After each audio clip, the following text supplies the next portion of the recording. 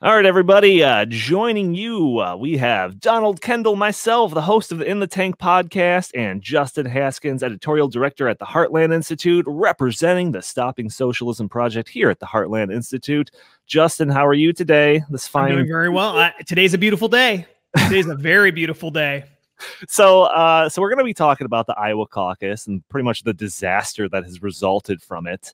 Um, but just just to give a little kind of context to this yesterday justin and i were talking and we thought tomorrow after the the caucus we're going to come here and do a little 15 minute video just talking about who we thought presumably was going to be the victor bernie sanders and we were so excited. we were so yeah, excited. Right what the implications of that would be.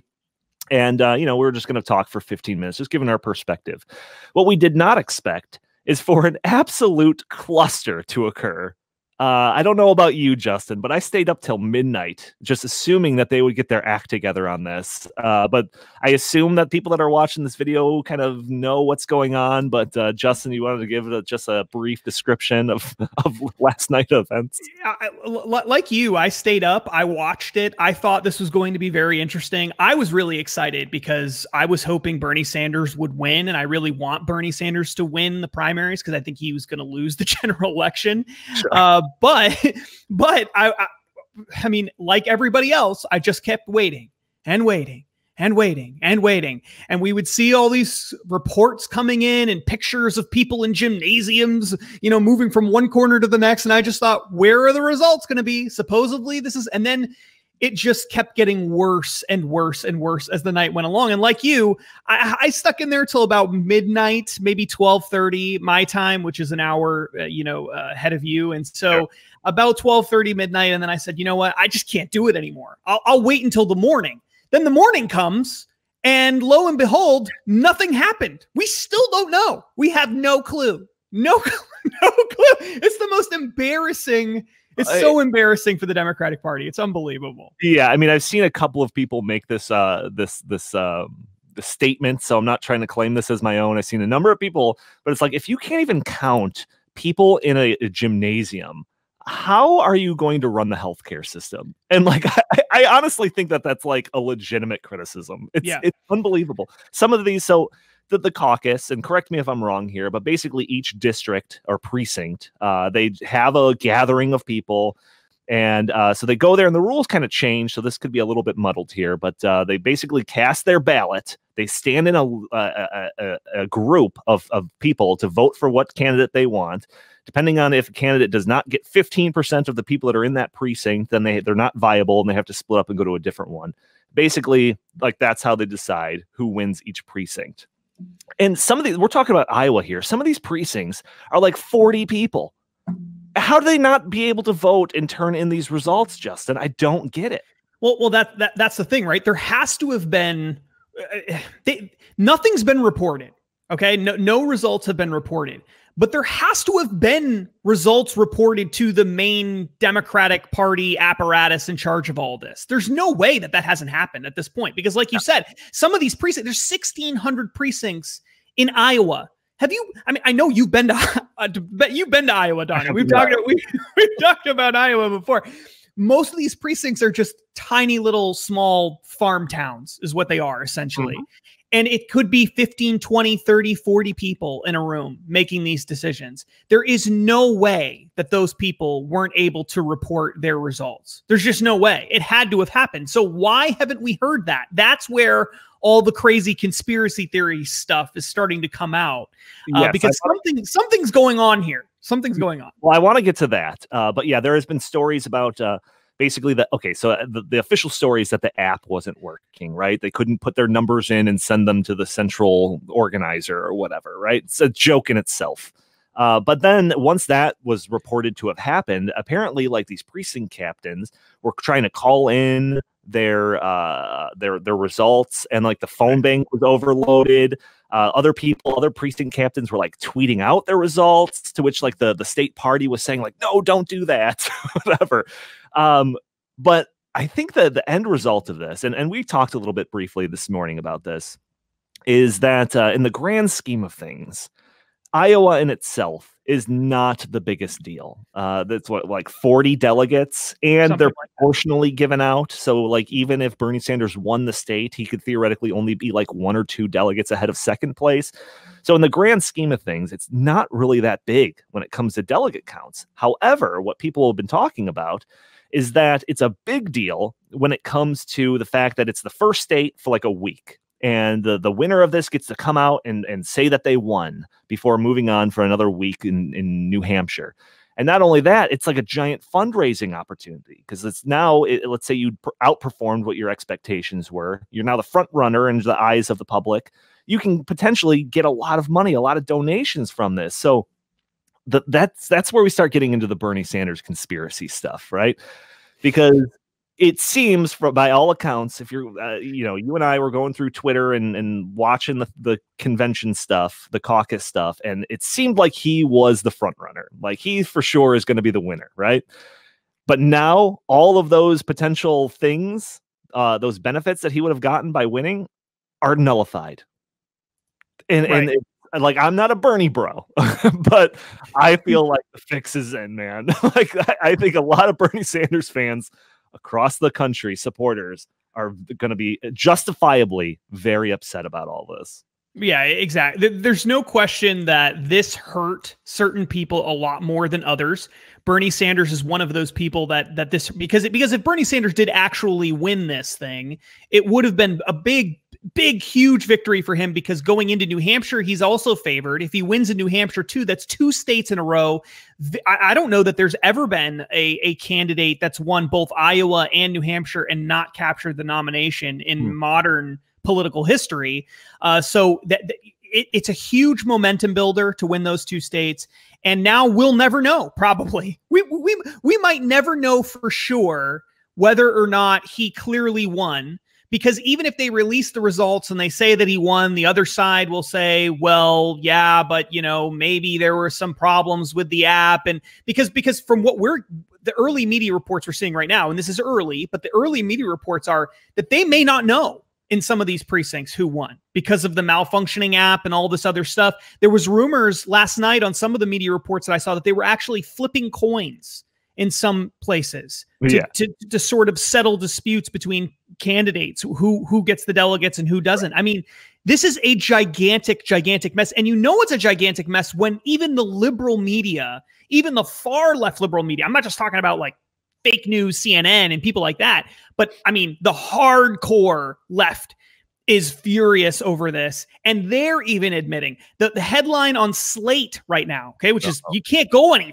further left than Slate is the Iowa caucus. This is the headline story. The Iowa caucus results failure is a debacle for Democrats. Like mm-hmm. even they are willing to admit this is this is just absolutely uh, terrible for their side of things. And going back to what you said before, really, why does this matter? This is not just a political issue. This isn't just about scoring political points or anything like that. It matters because it is true if you can't do something as simple as have as build an app that counts and, and reports votes, and you had four years to do it, and the last time you did it, it didn't go it didn't go well, so you knew that you had to make this count. And you have a vested interest in this because you know the world is watching. You know this is really important. You have all the money in the world available from the Democratic Party to make this work, presumably and you still can't figure out a way to make this work, then why would you be able to run the entire healthcare industry and not just that, but student lending, K through 12 education, Amtrak, anything? Why should we put you in charge of anything if you can't count votes and deliver those votes via an app? This yeah. is something that that on a regular basis the free market does way better in way more complicated situations right. and yet we can't they can't figure out how to do it with 4 years of time to, yeah. to come up with something. No, it's unbelievable. Uh, there, there's still a couple of things I want to get to. One is, uh, like I kind of referenced earlier, is like some of these precincts are like literally 40 people, right? Like, how do they not have the results in? I, I we just before we recorded this, uh, I looked up and still nothing is shown. Zero results uh, uh, reporting. So why could that? Po- why is that? I, I why, in your opinion, is that the case where we got nothing, no results? So I, I think the the sort of conventional answer is that because it's been such a disaster at this point, they don't want to report anything until they know for sure what the outcome is. Okay. And you could say that that's what's going on.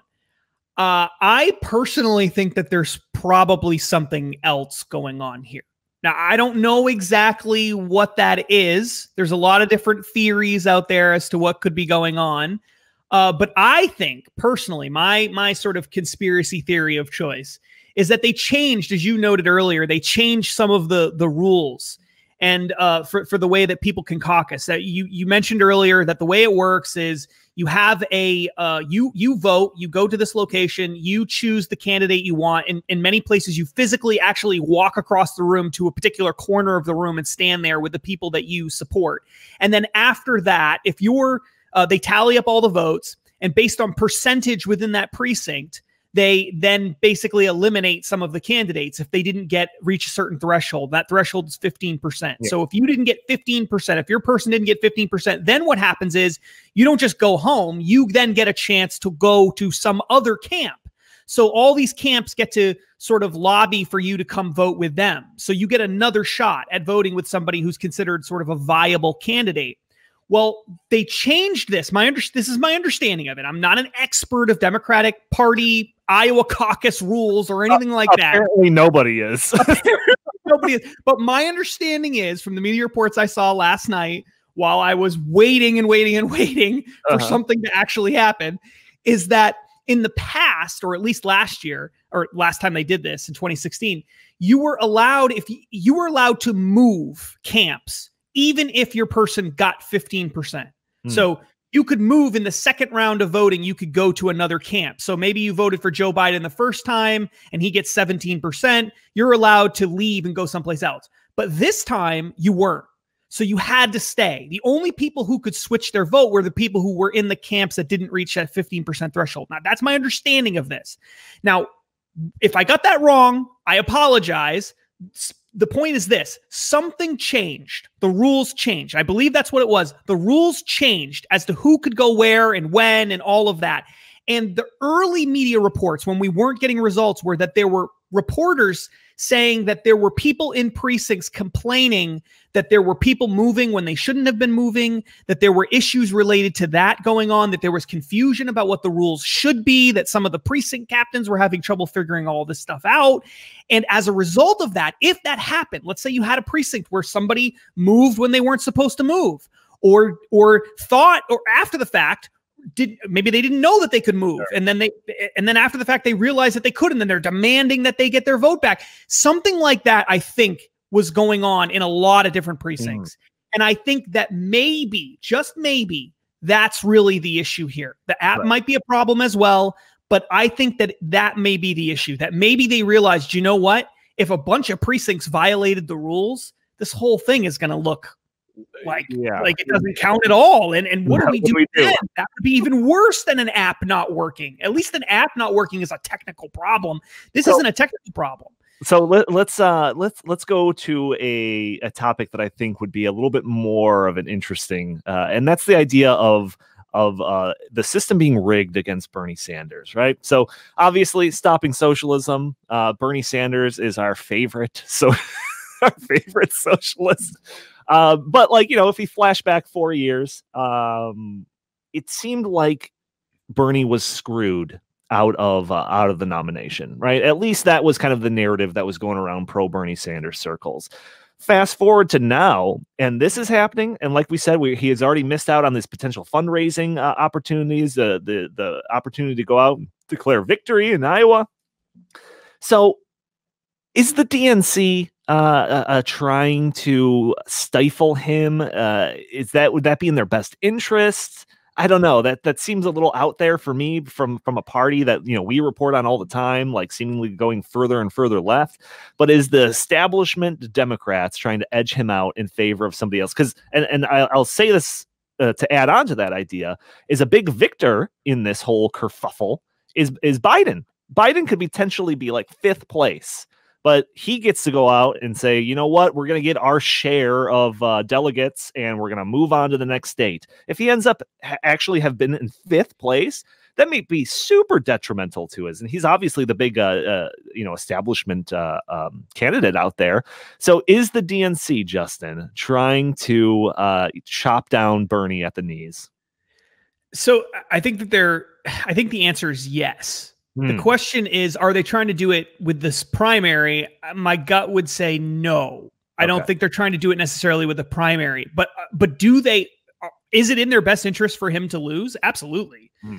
Because having a, having a self-avowed socialist as the face of your of your party is never a good thing in a country where very few people actually want to vote for a socialist. It's like a quarter or something like that at most. So um, it makes it, it, there's no question that that's what they want. I mean, even Barack Obama came out and essentially, or it was leaked that Barack Obama has been quietly going around telling important people, you can't choose Bernie Sanders. My God, you can't have him be the. And Hillary Clinton released this. Uh, there was this documentary released about Hillary Clinton, and she had a sit down interview where she just destroyed him in the interview. It's a terrible person. She just destroyed him. Yeah. And and she's not running. So and, and Obama's not running, right? So these people are passionate enough about this issue to say, you guys, like you're going off the cliff here with this guy. Right. There's no question that that there are a lot of establishment people in the Democratic Party, and not even a because I don't even really feel like Obama is an establishment person per se. Oh,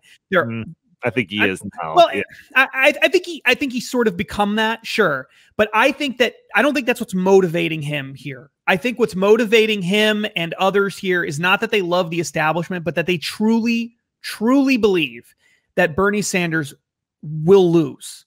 that's what they think. He's gonna lose. And and they don't want to lose again. That's a big, that's a big thing for especially Obama, because if they lose again, his entire legacy is dead. yeah. It's over. I mean, most of it's gone anyway, but it would be totally finished if he loses again. And so, do they want him to lose? Yes. Are there insiders rooting for him to lose? Yes. Do some of those insiders live in Iowa? Probably. Yeah. But are they the one? But are they actually sabotaging the primary? I I hope not. yeah. but you never know. And if you're a Bernie person, you're going to assume they are because that's because you've been screwed so many times before. You have to think that that's what's going on here, right? I think so, man. Honestly, I really do. Uh, so I don't know, unless you got something else that you want to kind of add to this conversation, we could probably wrap it up. Um, folks listening, if you want more content like this, we do the In the Tank podcast every week on a Friday. So feel free to check that out. That's also on YouTube, iTunes, SoundCloud, Stitcher, Google Play, pretty much everything nowadays. Uh, we do want to do more of these kind of short little videos where we're commenting on just kind of daily stuff. Uh, so if you have ideas, things that you think that we would uh, that would be interesting for us to talk about, feel free to email us at in the tank podcast at gmail.com. Uh, Justin, any last comments? Let people know where they can find you. Uh, at Justin T. Haskins on Facebook and Twitter. Uh, and you can also go to stoppingsocialism.com. Go to stoppingsocialism.com. All kinds of great material there. And uh, we'll be launching, we're rolling out a Stopping Socialism YouTube page, so channel. Look out for that. Uh, we're going to be posting all of these videos about socialism there, as well as on the Heartland YouTube page. So you can go to the Heartland YouTube channel and find it there as well. And hopefully, a lot of these will end up on the website too. So uh, lots of different resources for you. StoppingSocialism.com is the very first place you should go for socialism related material. Um, and thank you, Donnie, for doing such a fantastic job. Hosting All this. right. All right. And we will talk to you next time, everyone. Thank you for tuning in. Thanks for watching this video. Please subscribe to our channel and consider donating to the Heartland Institute to support more vibrant free markets, greater individual liberties, and more videos like this one.